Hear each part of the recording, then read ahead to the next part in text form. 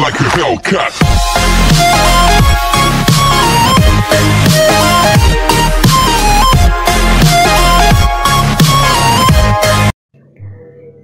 School love story कभी ना भूले जाने वाला वो एहसास है जिससे सभी एक ना एक बार ज़रूर गुजरते हैं।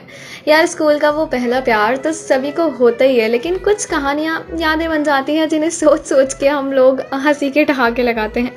आज वाली कहानी कुछ ऐसी होने वाली है। लिन यांग एक हाई स्कूल सीनियर होता है, जिससे कि अपनी स्कूल में जाओ जाओ के ऊपर बचपन से क्रश होता है।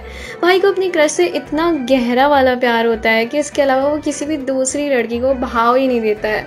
जबकि उसकी एक क्लोज फ्रेंड जिसका नाम लिंग शेंग होता है, छोड़ो यार, मुझसे ना हो पाएगा। दूसरी ओर लीन यांग का बेस्ट फ्रेंड जिसका नाम जैंग शुआन टाइप कुछ होता है, वो मिस लिंग को पसंद करता है और बदकिस्मती से वो भी फ्रेंड जोन्ड होता है। इंटर स्कूल मैथ्स कंपटीशन चल रहा होता है और जैनवा स्कूल की इज़्ज़त दाव पे होती है। ऐसे में डीन पैन स्कूल के टॉप स्टूडेंट्स को समन करते हैं। And I don't know for some reason competition में सारे डफर्स को बिठाया गया होता है, क्योंकि स्कूल के सारे टॉपर्स तो पैनल के बाहर खड़े होते हैं। जाओ जाओ भी स्कूल टॉपर्स में से एक होती है। इसे डीन पैन के कहने पे एक लड़का उसे बुलाने आता है बट स्कूल की इज़्ज़त दाव पे होने के बावजूद जाओ जाओ को अपनी नॉवेल का लास्ट चैप्टर कंप्लीट करना होता है। तो वो लड़का अपनी स्मार्टनेस दिखाते हुए वो नॉवेल लेके कंपटीशन एरेना की ओर भाग निकलता है। बोर्ड पे लिखी मैथ्स प्रॉब्लम देखते ही जाओ जाओ पूरे कॉन्फिडेंस के साथ बोलती है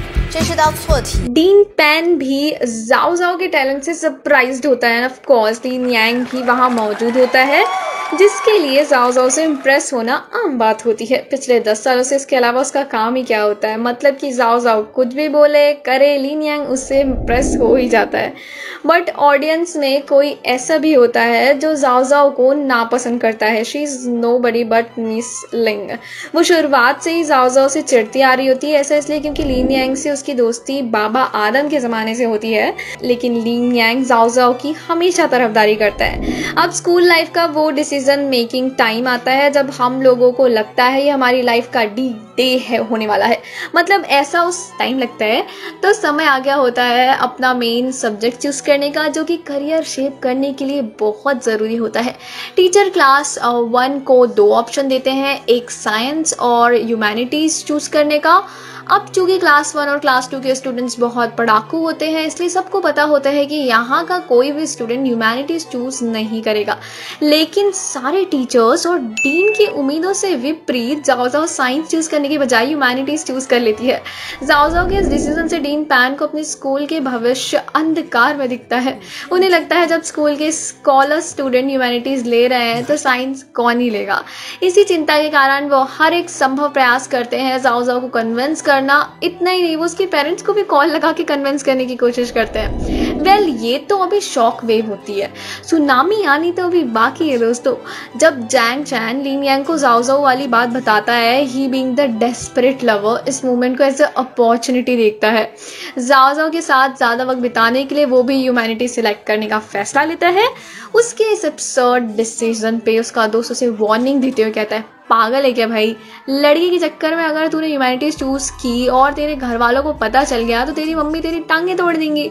बट प्यार में पागल लीन यांग को अब दुनिया की परवाह ही कहाँ होती है? उसे मानो मोक्ष की प्राप्ति हो गई हो। जाओ जाओ के सामने उसे कुछ भी सही गलत नहीं लगता। अब क्योंकि लीन यांग भी स्कूल के one of the topper student में से एक होता है, जिसका नाम स्कूल का बच्चा बच्चा जानता है, अगर वो भी ह्यूमैनिटी ले ले, तब तो डीन को हार्ट अटैक आना बनता है। उधर जाओ जाओ अभी भी अपने डिसीज़न को लेके कंफ्यूज चल रही होती है, क्योंकि उसके इस डिसीज़न को कोई भी सपोर्ट नहीं कर रहा होता है। ऐसे में वो अपनी स्कूल सीनियर चैन आन को मैसेज ड्रॉप करती है। ये पूछते हुए कि क्या उसका डिसीज़न सही है? को इंसिडेंटली डीन पैन अगले दिन चैनन को अपने स्कूल में इनवाइट करते हैं, क्योंकि किसी ज़माने में वो इसी स्कूल का टॉपर हुआ करता था। और अभी वो एक रिनॉर्ड कॉलेज में पढ़ाई कर रहा होता है। डीन पैन असल में चैनन के ज़रिए बच्चों को इंस्पायर करना चाहते थे। यार जैसे जैसे इस कहानी में आगे बढ़ रहे हैं, सब कितना रिलेटेबल लग रहा है। I never knew that school वाले हमारे साथ इतनी चालाकी करते थे। एनी वे जाओजा और चैनन की मुलाकात होती है और जाओजा के फेशियल एक्सप्रेशन से एक बात तो बखूबी समझ आ रही होती है। उसके दिल में चैनन के लिए कुछ तो है। यानी कि लीन यांग को टफ चैलेंज मिलने वाला है भाई। तो बात ये होती है कि चैनन और जाओजा एक दूसरे को पहले से जानते थे। ऐसे में कल के मैसेज के जवाब में चैनन उसे कहता है तुम्हारे लिए ह्यूमैनिटीज़ अच्छी चॉइस होगी और इसी के साथ डीन पैन का पूरा प्लान फेल हो जाता है।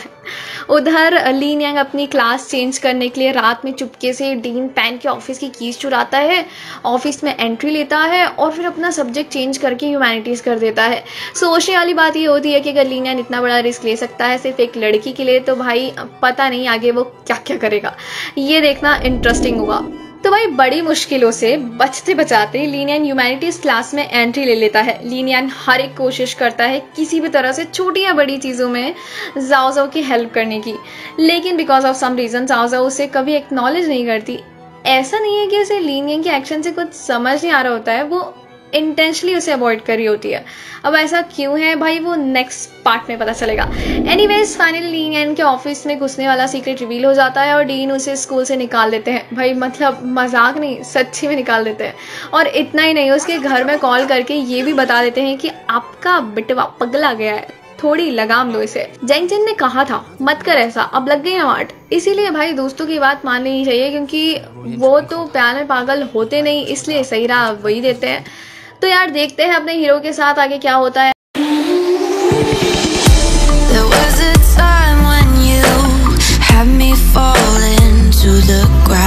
तो गाइज़ मेक श्योर आपने हमारा चैनल सब्सक्राइब कर रखा हो क्योंकि हमारा नेक्स्ट पार्ट और भी दमदार होने वाला है।